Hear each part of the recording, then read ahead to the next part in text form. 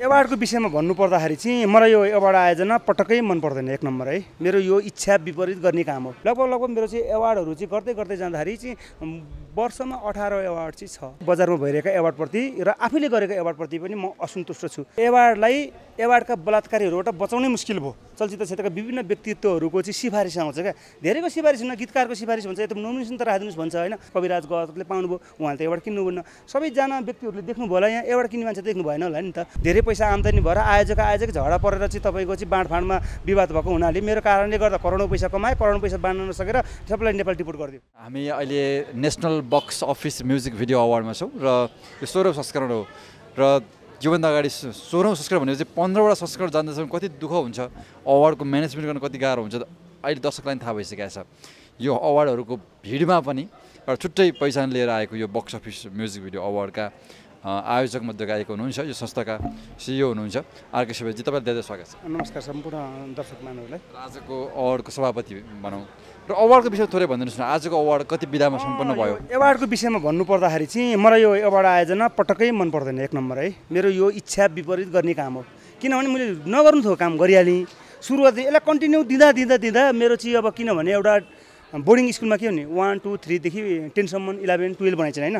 भनेपछि हामीले चलचित्र एवार्ड गर्दै थियौँ त्यसपछि म्युजिक राख्यौँ म्युजिकपछि टेलिफिल्म राख्यौँ टेलिफिल्मबाट एवार्ड पनि विभिन्न भाषाहरू छन् पप छन् आधुनिक छन् लोकदुरी छन् तपाईँको चाहिँ ता हाम्रो तिजको छुट्टै गर्छौँ होइन अनि दसैँ तिहारको छुट्टै गर्छौँ एउटा सङ्ग्राम हो यो एवार्डको चाहिँ किनभने सङ्ग्राम बन्न थाल्यो कि बन्द गर्दै गर्दै गर्दै चाहिँ सङ्ग्राम बन्न थाल्यो। एवार्डको बारेमा मलाई यो हो बजारमा भइरहेका एवार्डप्रति र आफैले गरेको एवार्डप्रति पनि म असन्तुष्ट छु।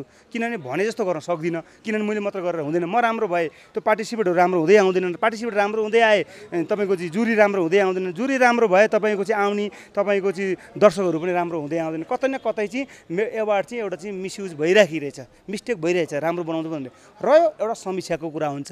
बक्स अफिस इन्टरनेसनल ग्रुपले चाहिँ के हो भने आँखा चिम्लेर दत्तचित्त भएर एकदमै देशदेखि विदेशदेखि कुना काप्चाका गीत सङ्गीतहरूलाई वर्षभरि हामी अनलाइनबाट फेसबुकबाट अफिस अफिसमा गएर एउटा कलेक्सन गर्छौँ। र नेसनल बक्स अफिस म्युजिक भेडमा गत साता सत्ताइस सय गीत सङ्गीत आबद्ध भएको थिए यसपालि चौतिस सय गीत सङ्गीत आबद्ध भएका छन्। यो चाहिँ सुगम सङ्गीत छुट्टै छ आधुनिक पप छुट्टै छ चलचित्र समिति छुट्टै छ र ती सबैलाई समेटेर यसभन्दा अगाडि हामीले उत्कृष्टभन्दा उत्कृष्टहरूको चाहिँ हामीले मनोनयन सार्वजनिक गऱ्यौँ। अहिले चाहिँ सर्वोत्कृष्टहरूलाई चाहिँ हामीले एउटा चाहिँ एवार्डबाट सम्मानबाट चाहिँ हामीले एउटा एवार्डेड गरेको। र नेपाली चलचित्र गीत सङ्गीत पप आधुनिक सुगम सङ्गीत लगायत सम्पूर्णको चाहिँ एकमुष्ट राष्ट्रको सर्वश्रेष्ठ एवार्ड जस्तै अब यहाँले देख्नुभयो तपाईँको चाहिँ मैथिलीबाट पनि आउनुभएको छ विदेशबाट पनि आउनुभएको छ सबैलाई समीक्षा गरेर गरेको चाहिँ यो हाम्रो चाहिँ national box office music award राष्ट्रकै सर्वश्रेष्ठ एवार्ड म्युजिक एवार्डको रूपमा चाहिँ हामीले यसलाई स्थापित गर्न कोसिस गरिरहेका छौँ। त्यो आज सम्पन्न भयो। विशेष गरी तपाईँको नाम चाहिँ आरके सुवेदी भन्ने बित्तिकै एउटा अवार्ड गर्ने व्यक्ति अथवा धेरै कलाकर्मीलाई सम्मान गर्ने व्यक्ति भनेर पनि बाहिर मार्केटमा भनौँ त्यो त्यो छाप परिसकेको छ कि? तपाईँले गर्ने अवार्डहरूको एकचोटि लिस्ट दिदिनुहोस् किनकि म्युजिक भिडियोतिर पनि उत्तिकै गर्नुहुन्छ तपाईँले। अनि सर्ट मुभीहरूको कुरा छँदैछन् होइन? थुप्रै विधा समेत मैले वर्षमा लगभग फुटबल सहित हरेक हप्ता फुटबल सहित वर्ल्ड कप युरो कप तपाईँको चाहिँ विभिन्न विदेशहरूको र नेपालकै लिगहरूकै नाममा पनि गर्दाखेरि हाम्रै कलाकारहरूको गर्दाखेरि मैले पचपन्नवटा इभेन्टहरू गर्छु। त्यसमा वर्षमा पचपन्नवटा इभेन्ट गर्छु र त्यो पनि काठमाडौँ भ्यालीमा मात्र होइन उपत्यका बाहिर गाउँ सहर देश विदेश गरी हामीले पचपन्नवटा इभेन्टहरू गर्छौँ। र त्यसमा चाहिँ मैले एवार्ड गर्ने कुरामा चाहिँ किनभने यो चाहिँ मलाई इच्छा विपरीत त्यो प्रोग्राम मैले अघिदेखि नै भने सुरुमा हामीले national box office Filmfare award सुरु गऱ्यौँ। त्यसपछि हाम- मलाई तपाईँ जस्तो अर्गनाइजेसनले यसरी फेयर गर्दै गर्दै जाँदाखेरि तपाईँको चाहिँ म्युजिकको गर्नुपर्छ भन्ने दबाब आयो गीत सङ्गीत संस्थाहरूको दबाब हो नि त यो मलाई ल गरौँ त भनेर सुरु गर्यो गर्दा गर्दा आज राम्रो भोलि राम्रो पर्सि राम्रो निकोर्सि राम्रो। आज पनि देख्नुभयो नि त संस्थाहरू कसरी आइरहेछन् कसरी एवार्ड एनाउन्समेन्ट भयो होइन?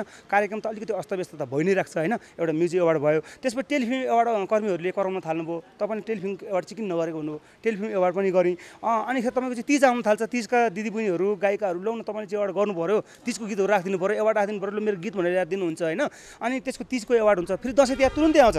दसैँ तिहारको म्युजिक एवार्ड पनि गर्नै पऱ्यो अनि त्यो सँगसँगै तपाईँको चाहिँ हाम्रो त यो चलचित्र गीत सङ्गीतको मात्र भयो तर राष्ट्रको लागि माया गर्ने देशको लागि सेवा गर्ने अरू पनि वर्गहरू हुन्छ त्यसको लागि नेसनल हिरो एवार्ड छ हाम्रो होइन?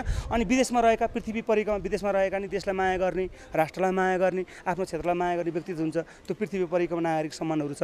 लगभग लगभग मेरो चाहिँ एवार्डहरू चाहिँ गर्दै गर्दै जाँदाखेरि चाहिँ वर्षमा अठार एवार्ड चाहिँ छ। अठारवटा एवार्ड कन्टिन्यू जस्तो के हुन्छ अहिले पछिल्लो समयको कुराकानी गर्ने हो भने अवार्डहरू चाहिँ अलिक फेयर भएनन् पैसै लिएर पनि गरिदिन्छन् अथवा आफ्ना आफन्तहरू पार्छन् होइन? खालि बिक्छन् विदेशमा जानको लागि एम्बेसीमा देखाउनकै लागि मात्रै सर्टिफिकेट बनाइन्छ भन्ने हुन्छ नि? ती ती आरोपलाई चाहिँ कसरी चिर्नुहुन्छ? किनकि त्यो भिडमा तपाईँ पनि हुनुहुन्छ। मैले मैले हजुरलाई तपाईँले फेसबुक पेजमा मैले आफैले भन्छु। मैले यसभन्दा अगाडि हेर्नुहोस् एवार्डलाई एवार्डका बलात्कारीहरूबाट बचाउनै मुस्किल भयो। भनेर मैले बिना प्रचार प्रसार गर्नुपर्छ। किनभने प्रचार प्रसार गर्ने व्यक्ति तपाईँको चाहिँ मन्त्रीदेखि लिएर तपाईँको चाहिँ चलचित्र क्षेत्रका विभिन्न व्यक्तित्वहरूको चाहिँ सिफारिस आउँछ क्या। धेरैको सिफारिस हुन गीतकारको सिफारिस भन्छ यता नोमिनेसन त राखिदिनुहोस् भन्छ होइन तर हाम्रो मनले त्यो मान्दैन क्या। कतिपय कुराहरू दबाब खेल्न सक्दैन होइन। र अर्को कुरो चाहिँ मेरो सन्दर्भमा भन्नुहुन्छ भने चाहिँ मैले चाहिँ फेरि इन्ट्री फी चाहिँ क्लियरली लिन्छु मैले होइन। त्यो मेरो एउटा नाट्यश्वरीको त्यो भेटी पनि हो होइन। त्यो नगरिकन मैले मेरो आय स्रोत पनि देखाउनुपर्छ। इन्ट्री फी चाहिँ मैले क्लियरै लिन्छु दुई हजार रुपियाँ राखेको छु होइन। र मैले एवार्ड चाहिँ आजसम्म मेरो इतिहासमा यदि कसैले प्रमाण ल्याइदियो भने आजसम्म मैले यो इन्डस्ट्रीमा तेइस वर्ष काम गरेको छु होइन? तेइस वर्ष काम गरेर चटक्क छोडेर म आफ्नो दोलखा जिल्लामा जान्छु त्यहाँ कृषि क्रान्ति गर्छु पानी बेच्छु होइन? अरबपति हुनलाई मलाई धेरै बेर लाग्दै लाग्दैन क्या सर चरङ्गे खोला तपाईँले देख्नुहुन्छ तपाईँको त्यहाँ कागते खोला भन्ने छ। कागते खोलाको पानी अथवा गौरी शङ्करको हिमालको पानी मैले जलको रूपमा मात्र बेची भने यो दोलखा जिल्ला मात्र होइन नेपाललाई सुन बनाइन्छु र अर्को कुरा तपाईँ तपाईँ तपाईँकै कुराकानी गरेर छौँ तपाईँ दुबई मलेसिया थाइल्यान्ड लगायत अथवा अन्य थुप्रै देशमा पनि तपाईँ अवार्ड गर्नुहुन्छ। देशभित्रै गर्न यति गाह्रो छ तपाईँ बाहिर गरिदिनुहुन्छ त्यति महँगो पर्छ त्यही कस्टको कस्टमा कसरी म्यानेज गर्नु मैले चाहिँ के गर्छु भने जस्तै मेरोमा सहभागिताहरू धेरै हुनुहुन्छ जस्तै यहाँले देख्नुभयो आजै पनि देख्नुभयो नि आज त मैले उल्टी पैसा दिएको छु। तपाईँ मैले दिएको ट्रफी लिएर आउनुहोस् मैले दिएको मनोनयन लिएर आउनुहोस् तपाईँलाई भविष्य पर्दाखेरि तपाईँको आफन्त नाता गोता कसैले सहयोग गरेन भने तपाईँको जीवन रक्षा गर्ने चाहिँ मेरो मेरो ट्रफी मात्रै मलाई ल्याएर दिनु दिएको र तपाईँलाई मैले चाहेको पैसा म दिन्छु भनेर मैले आज चेक पनि बाँडेको छु नि त। मैले त पैसै दिएको छु नि त्यो ट्रफी नहराउनुहोस् त्यो ट्रफी मगा ल्याएर राख्नुहोस् मलाई दिनुहोस् जस्तै मैले त्यसरी दिएको हुन्छु। अब तपाईँले यहाँ देखिहाल्नुभयो यसको मारले त एवार्ड किन्दैन होइन? तपाईँको चाहिँ अहिले हिट गीत टाढा भएनिको होइन? हाम्रो ती गायिकाले नै एवार्ड किन्नुहुन्न अनि लगायत विभिन्न एवार्डहरू त देख्नुभयो नि कविराज गजले पाउनुभयो उहाँले त एवार्ड किन्नुहुन्न। सबैजना व्यक्तिहरूले देख्नुभयो होला यहाँ एवार्ड किन्ने मान्छे देख्नु भएन होला नि त। तपाईँहरू पनि एनालाइज त भयो होला नि त होइन? त्यो भएको हुनाले चाहिँ अब तपाईँको चाहिँ मेरो मेरो हकमा चाहिँ त्यस्तो एवार्ड बिक्री वितरण चाहिँ हुँदैन। यो चाहिँ लगतै अब हामी सत्र गते जाँदैछौँ बाहिर। Thailand Malaysia Singapore Dubai Qatar. त्यहाँ चाहिँ हाम्रो एवार्डको तयारीको सिलसिलामा जान लागेको। त्यो चाहिँ पृथ्वी परिक्रमै हुन्छ। नेपाली फिल्मको एवार्ड लगेर हामीले बाहिर अहिले लगभग गर्न नै छोडिसक्यौँ। किनभने नेपाली फिल्मको एवार्डहरू बाहिर गर्ने भनेको दुई दुई ठाउँ हामीले कोसिस गरेको थियौँ दुबईमा। त्यहाँ चाहिँ तपाईँको चार हजार चार सय दर्शक आशा गरेको ठाउँमा चार हजार दर्शक भए। धेरै पैसा आम्दानी भएर आयोजक आयोजक झगडा परेर चाहिँ तपाईँको चाहिँ बाँडफाँडमा विवाद भएको हुनाले मेरो कारणले गर्दा करोडौँ पैसा कमाएँ करोडौँ पैसा बाँड्न नसकेर सबैलाई नेपाल डिपोर्ट गरिदियो। त्यो पैसाको कारणले बेलायतमा पनि त्यस्तै के भयो भने तपाईँको तिन सय दर्शक राखेको थिएँ चौध सय दर्शक भए। त्यहाँ पनि धेरै पैसाहरू फाइदा फाइदा भइसकेपछि आयोजकको मुनमुटुवा हुन्छ। आखिर मैले केही पनि पाउने होइन भनिसकेपछि मैले अहिले के गर्छु भने नेपालबाटै आफै प्रोग्राम बनाउँछु क्या।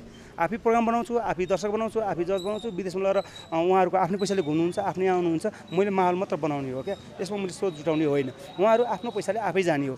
तर मैले चाहिँ त्यसको लागि चाहिँ सस्तोमा राम्रोमा एउटा चाहिँ एउटा सिधा बाटो मैले बनाउने मात्र हो क्या। तर त्यसमा चाहिँ मैले राज्यबाट पनि लिँदिनँ। नेपाल सरकारमा मेरो एवार्डमा देख्नुहुन्छ मैले राज्यको कुनै पनि सुविधाहरू लिँदैन मैले। र अन्तिममा आजको अवार्डको कुराकानी गर्दै गर्दा अब यो भनौँ न कति समयको तयारीमा गर्नुभयो किनकि हतार हुन्छ नै होइन। र आजको लास्ट भन्नु न कति विधा थियो र कस्तो रह्यो? यो चाहिँ हाम्रो आधुनिकमा तपाईँको चाहिँ नौ विधा चलचित्रमा पाँच विधा अनि तपाईँको चाहिँ यो धेरै गएर धेरै भएको त नि तामाङ सेलोमा तपाईँको चाहिँ नौ विधा लगभग छ नौ नौ दस विधा अनि तपाईँको पपमा पाँच विधा भजनमा पाँच विधा अ, विदेशमा बस्नेको पाँच विधा गरी टोटल विधा चाहिँ हाम्रो तिस पैँ बत्तिस विधा जति चाहिँ ओभरअल भयो। बत्तिस विधा तपाईँलाई धेरै बधाईसँगै धन्यवाद। लोकप्रिय च्यानल म पनि हेर्ने गर्छु र यहाँले चाहिँ अब आफ्नो विभिन्न संस्थाहरूलाई ओजेलमा परेका चर्चामा पाएका सबै संस्थाहरूलाई आफ्नो च्यानलमा चाहिँ यहाँले ल्याउनुहुन्छ। म हेर्ने गर्छु। यहाँको च्यानलको लोकप्रियताको लागि जनविश्वासको लागि म सम्पूर्ण दर्शकहरूप्रति श्रोताप्रति आभारी छु। धन्यवाद।